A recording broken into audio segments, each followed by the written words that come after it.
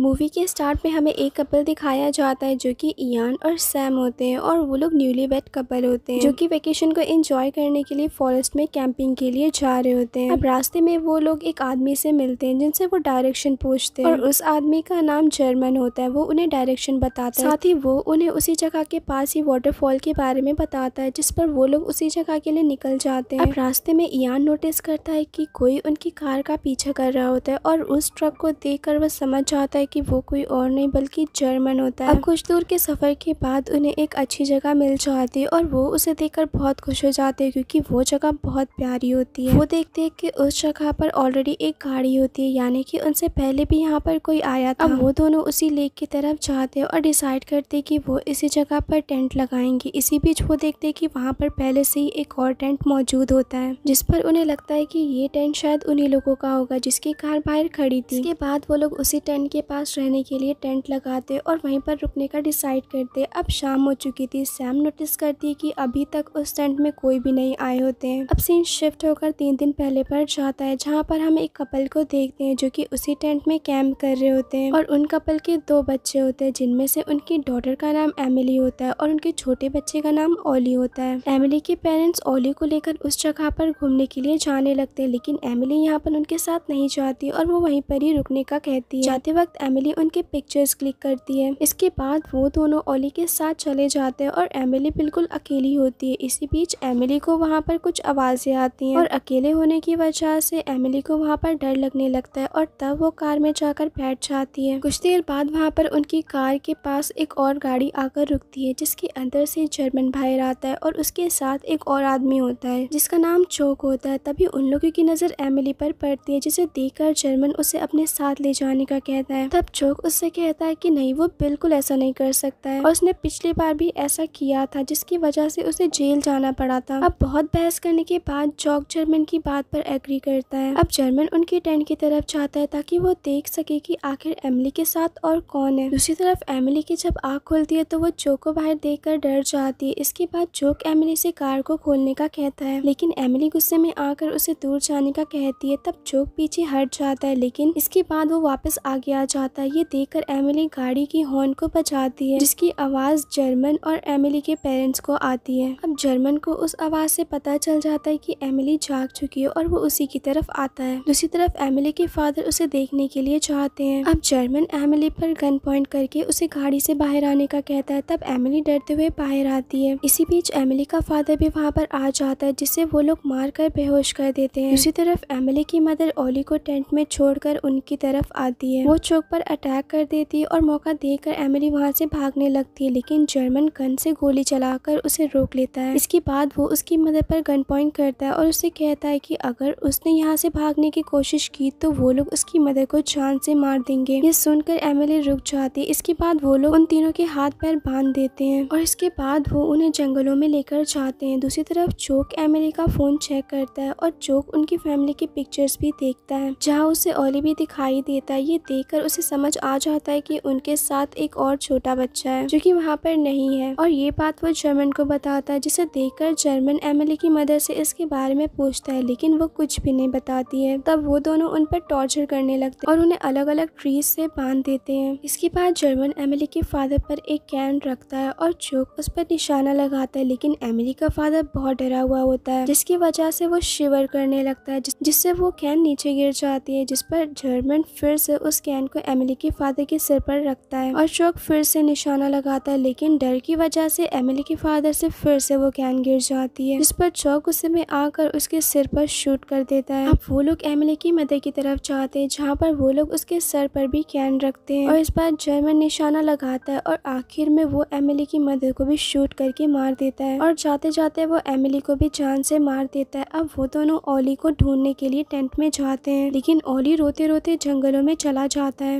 अब story present में आती है, जहाँ पर सैम नोटिस करती है कि उस टेंट में अभी तक कोई भी नहीं आए होते हैं। इसके बाद सैम उस टेंट को चेक करने के लिए जाती है, जहाँ वो देखते हैं कि उस टेंट में हर तरफ़ सामान बिखरे हुए होते हैं, जिस पर उन्हें समझ आ जाता है कि यहाँ पर ज़रूर कोई गड़बड़ है। और तब सैम ईयान से पुलिस को इन्फॉर्म करने का कहती है, लेकिन उनकी गाड़ी के एक टायर पंचर होता है, जिस पर ईयान टायर को चेंज करता है। इसी बीच उसे सैम के चिल्लाने की आवाज़ें आती है। तब तब ईयान वहाँ पर भागते हुए जाता है, जहाँ पर सैम सैम उसे ओली को दिखाती है, जिसकी हालत काफ़ी खराब होती है और चेक करने पर उन्हें पता चलता है कि ओली अभी भी ज़िंदा है और वो लोग ओली को अपने साथ ले जाने लगते हैं और डिसाइड करते हैं कि वो लोग ओली के पेरेंट्स को भी ढूंढेंगे। इसी बीच वहाँ पर चोक भी आ जाता है। ये देख वो लोग चोक को ओली के बारे में बताते हैं और वो लोग चोक से हेल्प मांगते हैं ताकि वो लोग ओली को हॉस्पिटल ले जा सके, जिस पर चोक उन्हें तसल्ली देता है और कहता है कि वो लोग परेशान ना हो और इस बच्चे के पेरेंट्स यहीं कहीं होंगे। और तब वो उनसे कहता है कि वो इस बच्चे के पेरेंट्स को ढूंढेगा, जिस पर वो सब चोक के पेरेंट्स की तलाश में जाने लगते हैं, तभी चोक अपनी गाड़ी से एक गन निकाल लेता है। इसके बाद चोक और ईयान ओली के पेरेंट्स को ढूँढने के लिए चले जाते हैं। अब सैम अकेली होती है और वो कार में जाकर बैठ जाती है, जहाँ पर उसे एक नाइफ मिल जाती है। दूसरी तरफ़ चोक ईयान को उसी जगह पर लाता है, जहाँ पर उन दोनों ने एमिली की फैमिली को टॉर्चर करके जान से मार दिया था। लेकिन चोक देखता है कि वहाँ पर एमिली की मदर नहीं होती है, जिससे साफ़ पता चलता है कि एमिली की मदर अभी भी ज़िंदा है। ईयान चोक को वहाँ से चलने का कहता है ताकि वो लोग पुलिस को इन्फॉर्म कर सके, लेकिन चोक यहाँ कहता है कि एमिली की मदर अभी भी ज़िंदा है तो उन्हें उसी को ढूंढना चाहिए। और कुछ दूरी पर उन्हें एमिली की मदर मिल जाती है, जो कि अभी भी ज़िंदा होती है। ईयान उसके पास जाता है, लेकिन तभी चोक एमिली की मदर को शूट करके मार देता है। ये देखकर ईयान बहुत ज़्यादा डर जाता है और कहता है कि क्या वो उसे भी मार देगा, जिस पर चोक उससे कहता है कि नहीं, मैं तुम्हें इतनी आसानी से नहीं मारूँगा, बल्कि तुम्हें तड़पा तड़पा कर मारूँगा। ये सुनकर ईयान बहुत ज़्यादा डर जाता है तभी चोक उससे चलने का कहता है। लेकिन ईयान मौका देख चोक को पुश करके वहाँ से भाग जाता है, जिस पर चोक भी उसके पीछे जाता है। दूसरी तरफ़ जर्मन सैम के पास आता है, जिस पर सैम जर्मन को सारी बातें बता देती है। ये सुनकर जर्मन गाड़ी से गन निकालता है। ये देखकर सैम बहुत ज़्यादा डर जाती है और गाड़ी में जाकर बैठ जाती है, तब जर्मन उसे कार से बाहर आने का कहता है और सैम के बाहर ना आने की वजह से जर्मन कार के ग्लास को तोड़ देता है और कार को खोलने की कोशिश करता है। इसी बीच सैम चाकू से जर्मन के हाथ पर